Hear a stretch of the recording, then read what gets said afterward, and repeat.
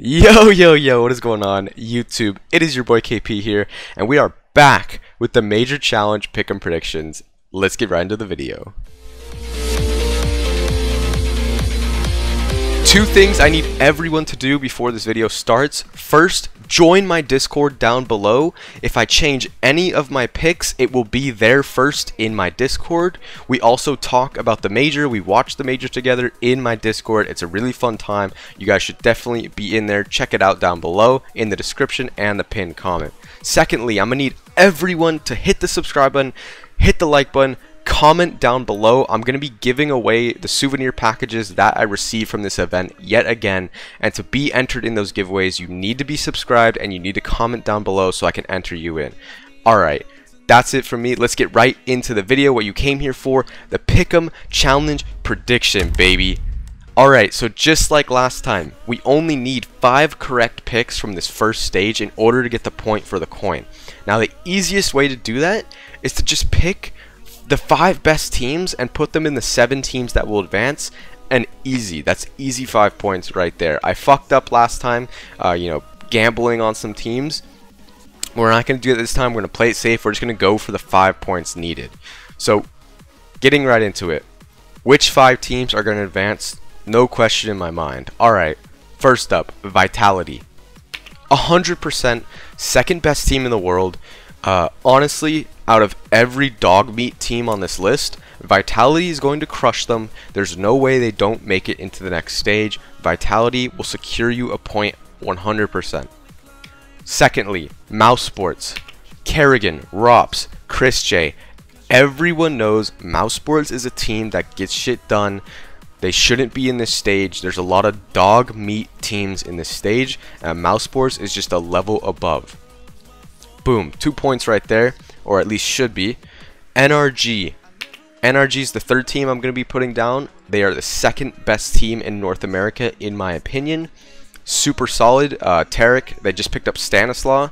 Uh, been showing mixed results, but out of all the teams on this list, NRG should be making it through.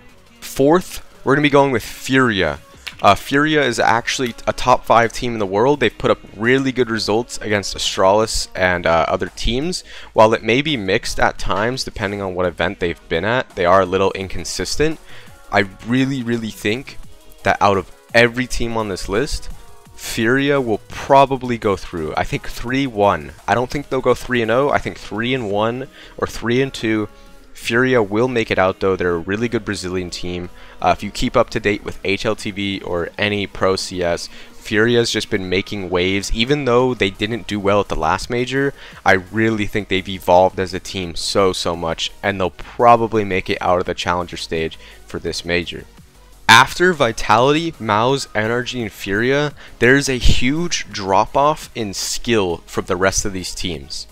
All of these teams I would consider top 5 to top 10 in the world contenders and then the rest just drop to top 15 20 30 so that's why these last three picks can get a little dicey.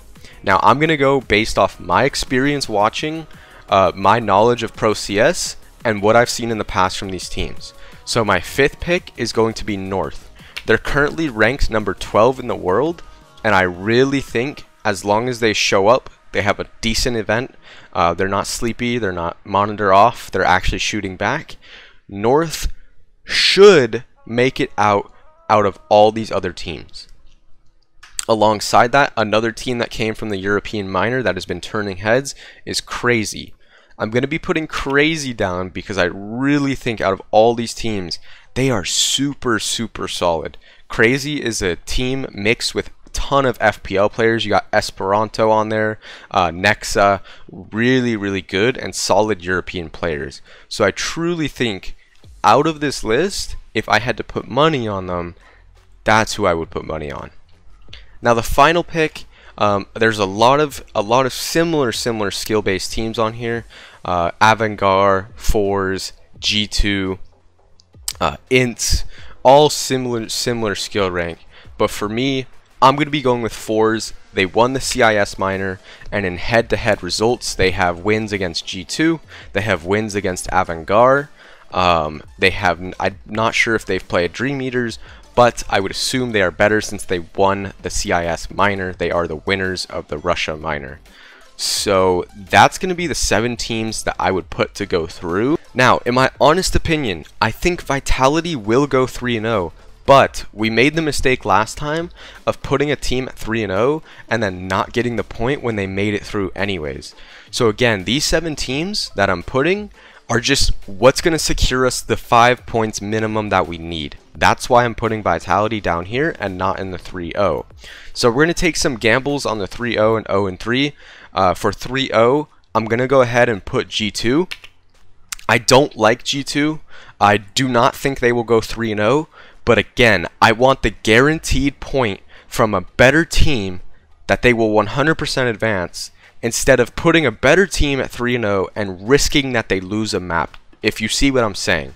So G2 is a good gamble because they're, they are still ranked 8th in the world, and they might just show up out of nowhere and go 3-0 or they might show up out of nowhere and shit the bed and be out of the major. So I think G2 is a perfect gamble team to put in the 3-0 right now. Now the 0-3 is a little bit easier. Uh, I think Tyloo will win a map. I think Grayhound is pretty pretty bad, but I don't think they'll go 0-3 like they did last time. I think Dream Eaters is pretty bad. INTZ is pretty bad, but they have KNG, and KNG is just the X factor. He could literally win you a map. So the team I'm going to put for 0 and 3 is going to actually be Hellraisers.